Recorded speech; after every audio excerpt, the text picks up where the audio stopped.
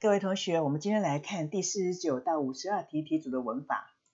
我们来看第一个句子：Born and raised in Boston, he began his career at age 18 in his hometown, working as an apprentice at a printing company。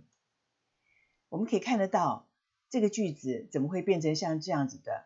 它原来是三个句子结合起来的。第一个句子：He was born and raised in Boston。第二个句子，He began his career at age eighteen。第三个句子，He worked as an apprentice。这三个句子因为同样的都是主词，都是 he，所以呢很简单，他把主词就做省略了，前面的 he was 把它省略掉了，它是一个它是被出生被动语态，所以就留下来 born and raised 啊，用分词构句的方式。中间的句子呢，他把它保留了，因为我们句子的 he 还是要保留。He began his career。后面呢，he worked as，把这个 he worked as 又变成什么分词构句？这里是呃，因为它是主动的，啊这边是被动的，所以这边 working as an apprentice，最后就形成我们像这样的一个句子。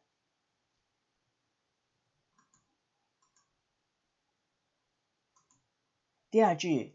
Skilled at drawing, he soon made a name for himself making illustrations for novels, sheet music, magazines, and children's books.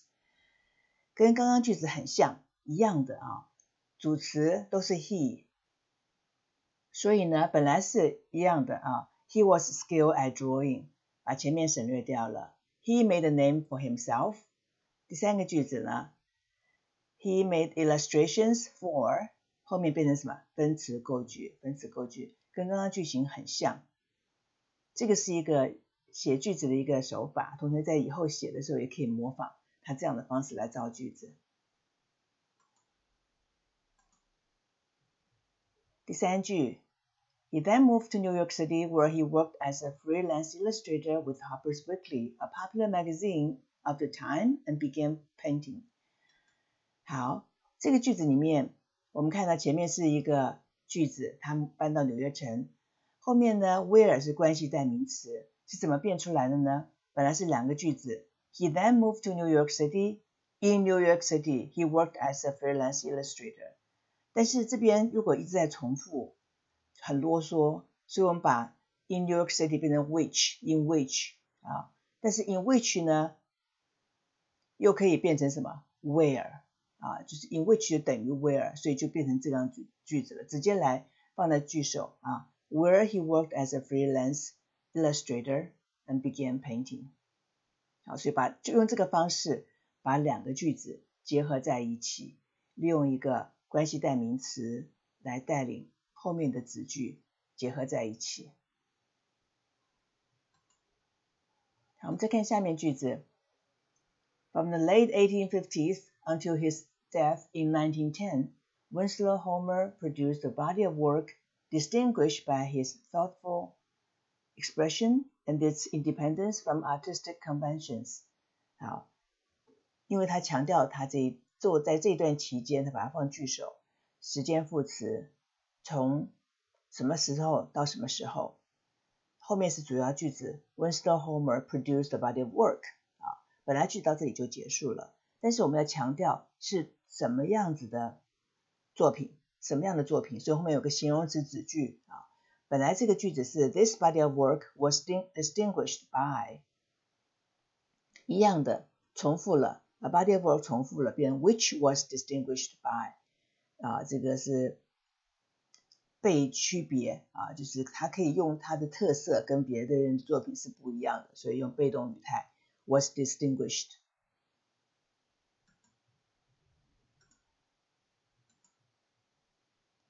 我们看下面的句子，Many of his works，ok，depictions of children at play and in school, farm girls attending to the work, hunters and their prey, have become classic images of 19th century American life。在这个句子里面，老师主要讲的是它的这个我们讲所谓 dash 的用法。dash 呢，它是补充说明。如果我们讲完了他的许多作品，是要仔细说明他的作品是哪些。那我们可以用一个逗号，用个逗号，在这边加一个逗号，在这里加一个逗号来说明。那我们也可以用什么？用 dash 在这里，他作者选择用 dash，因为他这边已经有很很多逗号哈，所以用这个 dash 是比较好的。而且用 dash 的话，可以是比较强调啊，更强调。同时，我们在这里又看到另外一个标点符号，一个小的，这叫 hyphen。hyphen 呢是连接两个字的时候，把它结合在一起成一个字的时候，就变成什么？就是 hyphen。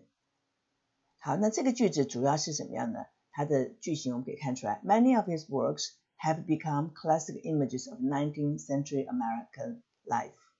所以中间的部分拿掉都不影响啊，不会影响，所以它纯粹是补充说明的，完全是补充说明，不影响句子的主要结构。所以 depictions of 这些东西是怎么样？是补充说明它的他的这个作品的是什么样子情况。It shows his extraordinary career from the battlefields, farmland, and coastal villages of America to the North Sea fishing village of Colobcoats, the rocky coast of Maine, the Adirondacks, and the Caribbean. 好，这个句子看起来好长哦，但是同学不要担心哦。如果我们就像这一类的，它都是 虽然有很多的名词，但是最主要的结构很单纯，我们就看到了啊，it shows his extraordinary career from to，从这些东西到这些东西，所以它有表示它画的主题范围很广。那我们只要注意到啊，它主要的结构是像这样子，中间你再加很多东西都没有关系。好，我们的讲解就到这里结束。